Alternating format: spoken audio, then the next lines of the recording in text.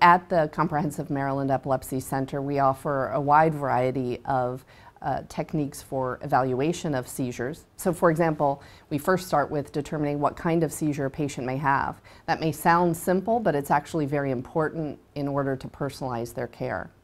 Once we determine a diagnosis and treatment plan for a patient, that may include determining what anti-seizure medications are important for that patient to get seizure control. Our goal is for someone to have no seizures and no side effects if possible. Um, if needed, they may be routed to a specialized part of our epilepsy center, like the Women's Epilepsy Program, where we can further specialize their treatment.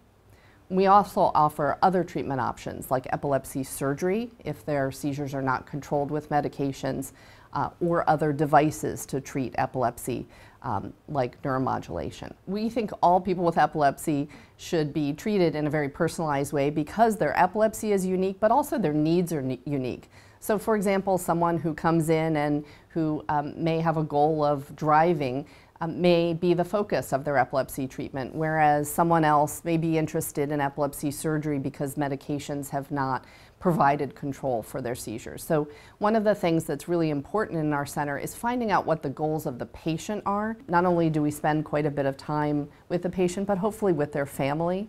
And I think that that relationship is what makes Maryland Epilepsy Center unique. We are a National Association of Epilepsy Center Level 4 Epilepsy Center. With an NAC Level 4 accreditation, the center provides the highest level of epilepsy care. This means that we have all testing available for patients and all treatment options so that a patient can get both comprehensive care as well as personalized evaluation and treatment for their seizures.